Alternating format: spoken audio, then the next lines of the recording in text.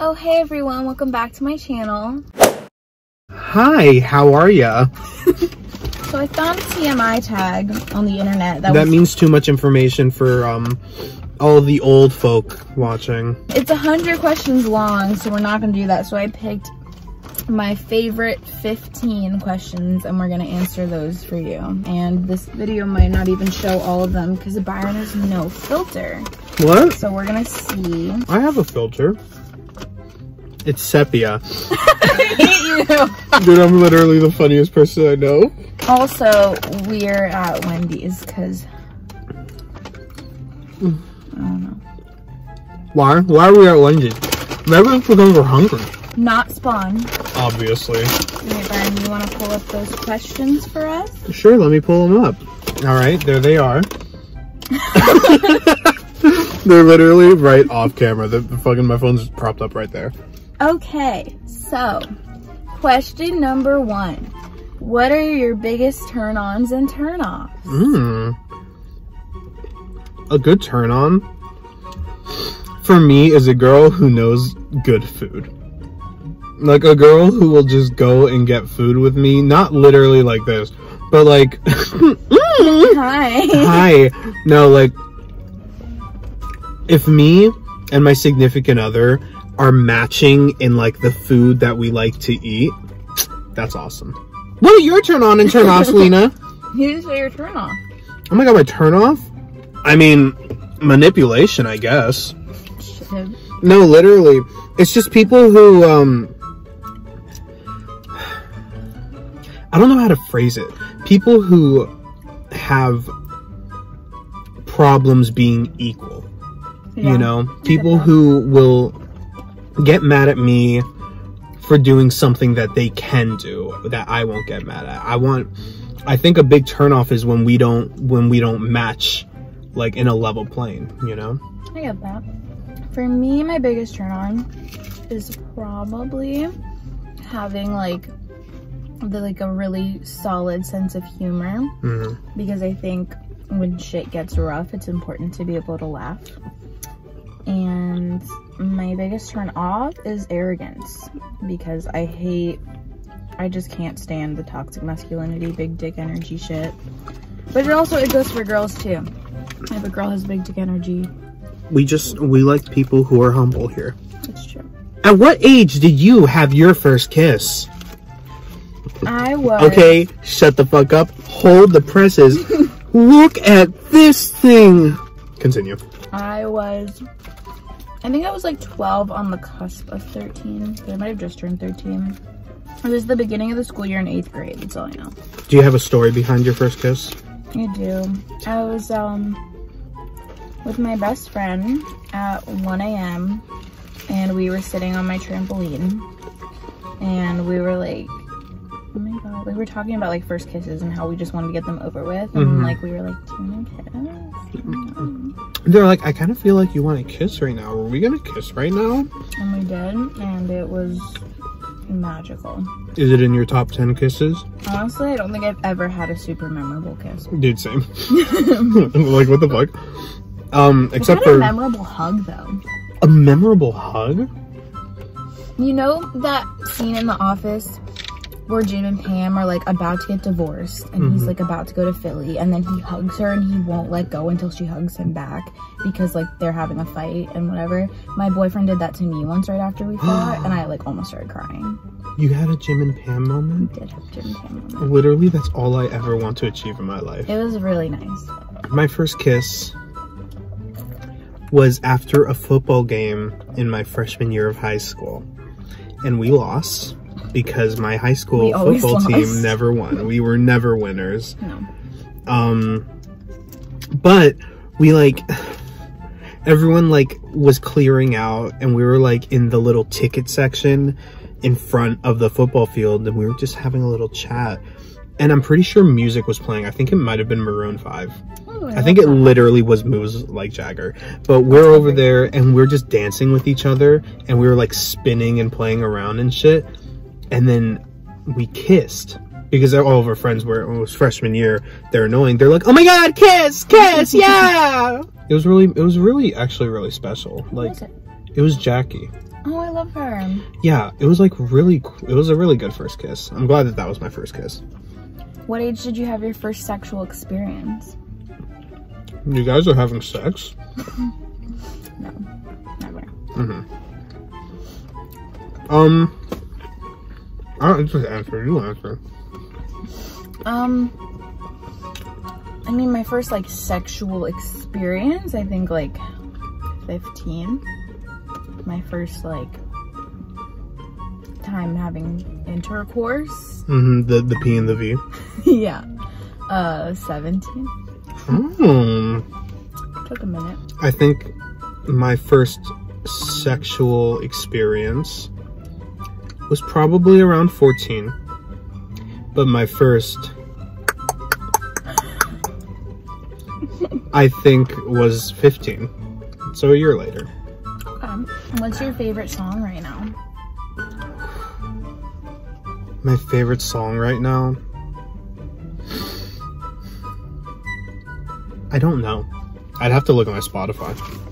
Right now, I like. I really like "Floral and Fading" by Pierce the Veil. Hmm. Um, "All Signs Point to Lauderdale" by A Day to Remember. I'm feeling a little emo. No, but Um, and then every One Direction song ever. understood. They just had their anniversary. I'm still in the mood. I think right now my favorite song is probably. Uh, I, mean, I guess it's a mix of a few as well, but um, I really like "Lady Hear Me Tonight" because that song is great, and I also really like uh, the the two songs "Lone Wolf and Cub" and "Them Changes" by Thundercat. Jesus Christ, I, it's ridiculous how good those songs are. Why is that your contact picture for me? I just never changed it. Do you hate anyone? No, Yeah. fuck, dude. Here's the thing. yeah. I wish that I could be like above it. I Mhm. wish that I could be like, I'm so at peace. I just wish the best of everyone. Mm, but I'm no, there's some people that I want to be like walking down the street and I turn and see that they're like on fire and I'm holding a water bottle in my hand and as they're burning to death, I look them in the eyes and pour the water bottle on the ground. I wonder if you could get in trouble for that. I'm kind of a psychopath. I'm kidding. Hate is such a scary, strong emotion, and so when I do hate anyone, it consumes me. Me too. I, I feel like it doesn't consume me in the sense that like I can't stop thinking about it, but like there are people that like when someone mentions their name, I like fill with rage. Mhm. I'm like, oh fuck that person. To your knowledge, have you ever been cheated on? To my knowledge. No. To my knowledge, no, but I have very strong suspicions for both my exes. Have you ever had a crush on a teacher? I actually have like a thing for teachers. It's pretty bad. That's so gross. Okay, What kind of... My number one turn on is if they're a teacher. no, okay. The first one was when I was in seventh grade. My best friend's math teacher, I used to walk her to math class so I could see him. And then he became a math teacher at our high school. And I was really excited until he was kind of a dick to me at a football game. And then I got over it. Um, I think he was like running the snack bar. And he was like, what do you want? And I was like, um, and I was trying to make up my mind. And he was like, you need to hurry up because there's a line. And I was like, That's a relationship color. yeah. Mm-mm. Um, and then also, um, my brother's freshman study hall teacher, Your brother's freshman study hall teacher, not yours. he also was like a science teacher at our school. But Okay. that's the only sort of relationship I had to him. Um, he was like 22 though, so it wasn't that weird because I was like 16. it's fine. Isn't that weird? Um, and then also, okay, like the the most intense one was my last semester of college, my creative writing professor. I loved like You know when you argue with someone but it's kind of flirtatious? Mhm. I used to do that with him like in front of the class. I loved pushing his buttons.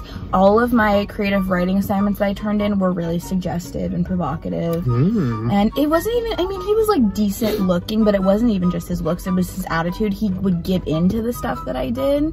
He would give in to you. He was just, he was the kind of teacher you could tell. I'm not gonna say that, never mind. Um, okay. I, Ivan, if you're watching, what's good? I have a boyfriend, but you could have had this.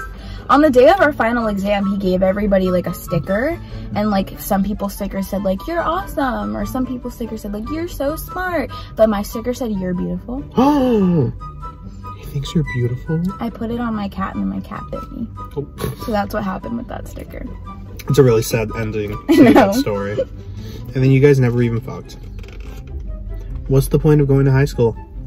It was college. You ever had a crush on a teacher? Um, I don't know if I've ever had a crush, but there was definitely this one teacher who I had last semester who was like super my type. And like, I joked with her a lot. I asked her if she wanted to go to Santorini, Greece with me, and she said if she could take her husband. And I literally was like, oh, that's not fun. but I was joking. Um, but no, I don't know if it, if it was like a crush. I just thought she was cute. What's a relationship deal breaker for you? Um, if I don't see, here's my thing. If I get into a relationship with you, it is for the long haul. Yeah. Like if I get into a relationship with you, I'm expecting marriage at the end of this. If I if we're dating or if we're like going out and like seeing each other or whatever it is, like not a true relationship, then whatever. But if you're not someone who is willing to work with me in terms of like my career, because to me my my career is the most important part of my life. Mm-hmm. I want it to be because realistically my relationships end up being the most important part of my life and I hate that about myself. So I want my career to be the most important part of my life and they're not if they're not willing to accept that and work with me and push me to be a better person as of course I'll push them to be a better person then it's like not even worth it. Oh, true. I mean, I actually just recently had this conversation with my boyfriend, Mm. and we were talking about like our future, and I was like, listen, kids are 100% negotiable. Dogs are not. Mm. I need somebody who's gonna let me have pets. And that's, they don't have to love animals. Like my dad hates all living things, but he let my mom have a dog. He lets my stepmom have cats. Like as long as I'm allowed to have them, that's all I've ever wanted my entire life was my own dog. That's I'm getting it. And if you don't like it, like if you're gonna make me choose between you and the dog, the dog's always gonna win. Mhm. I'm sorry. What's the longest you've ever gone without a shower? This quarantine. the whole quarantine. yeah, the whole thing. It's been like four months. yeah, it's been, you know, it gets to the point where you smell so bad that your n- smell neutralizes and then you smell like nothing. Okay. hmm Actually, like a week when I was gross and in middle school. Really? When I was in middle school, one time I went like eight or nine days. Like, it gets to the point where you don't shower for so long that you're like, I think I'm falling apart. Yeah, but also I was like really depressed in sixth grade. That's when I first experienced depression. Fun And I- introduction. Didn't have motivation to do literally anything, including shower, and it was pretty normal at that point in my life for me to only shower once or twice a week. It was pretty gross. I'm glad that I met you After sixth grade. after sixth grade. Have you ever been caught master ma- masturbating? Have you ever been caught masturbating? Yeah, but like I don't think the person knew. It was just my sister. And I have a little drawer of snacks under my bed. And she like came into my room. I guess I forgot to lock the door. Mhm. And she was like, Can I read your snack drawer? And I was like, Sure. And I like leave my shirt on and get under the covers when I do it. So I think she just like I don't know. I just kind of like sat there pantsless without her knowing until she got like a bag of chips out of my drawer. Well, that's nice. Um, I have, yeah, by some like random family friend. They just walked into my room and they were like, "Oh!" and then they closed the door, and I was like, "Okay, bye." Like, and you know, I didn't even finish. That was the worst part about it. I was young. I was in middle school, and like masturbating was basically the only thing I knew how to do. Yeah. Ever been caught having sex? Uh, have you? I mean, again, my sister, but it was a little different. It was like my high school boyfriend. We were having sex in my room like after school. And I think my sister knew we were having sex and she wanted to see if we were. So she came up to my bedroom, knocked on the door, and I went, What? And she like started laughing. I think she just like, you know, wanted to confirm. She's like, oh my god. How old was she? At the time, I think she was like 13. That's fine. 13 year olds like to do shit like that. I was caught by uh, my one of my best friends with my high school girlfriend as well. We were doing the dang, butt naked. The lights were on. I was head in between her legs. You know.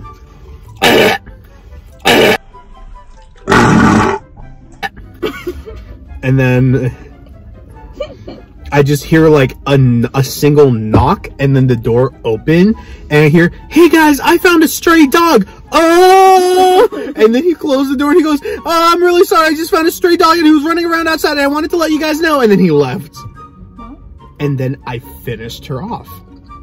I did the goddamn job. I was like, no interruption can stop me. We thought it was really funny. He was kind of traumatized because he saw my ass. Do what you gotta do. Do what you gotta do. Have you ever cheated on anyone? I haven't. No, I haven't cheated on anyone. I'd be really. I think that would, that would take a mental toll on me. Me too. I wouldn't. I would have such a guilty conscience. Have You ever drank or done drugs? I'm high right now. Love that. I'm literally. I got into this car and I was pretty smacked. A little better now. I think it's because I'm in the heat and I've eaten food.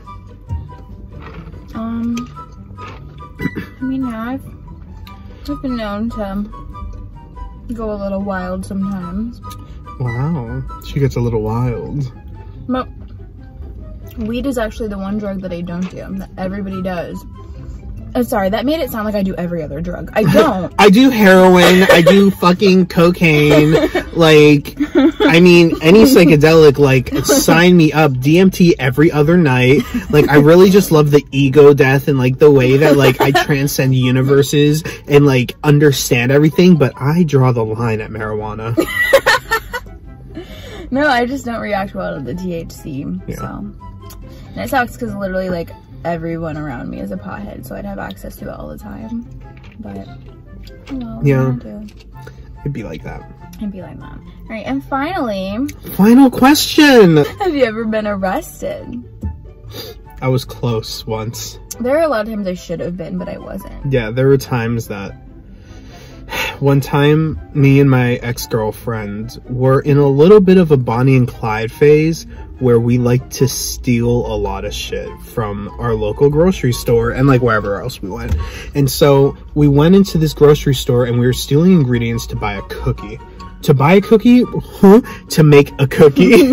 we are stealing ingredients for cookies and all was going well, but then she was like, I think there's someone following us.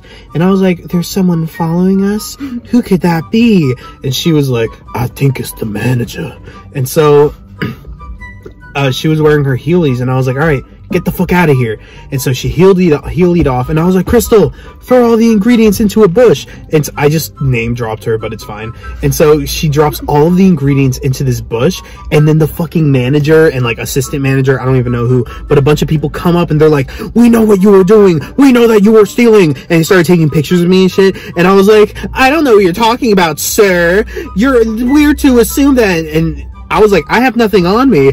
And they were like, yeah, well, your girl, your girlfriend is real lucky that we're not going to chase her right now. And I was like, okay. And then I had a friend pick up the ingredients and we ate cookies and they were really good. Anyway, we're going to go because it's actually 100 degrees in here. Wait, you didn't answer the question. Yeah, I did. I mean, there were times where I should have been. Like, like what? My last car crash, um, I crashed into a tree my brakes failed. Mm -hmm. I'm convinced that they failed. I did not do anything. They failed, sure. Um, my car just swerved off the road. I don't appreciate. And I had like bottles of wine in my car and I'm not 21 years of age yet. And so I made my sister like, she was in the car with me.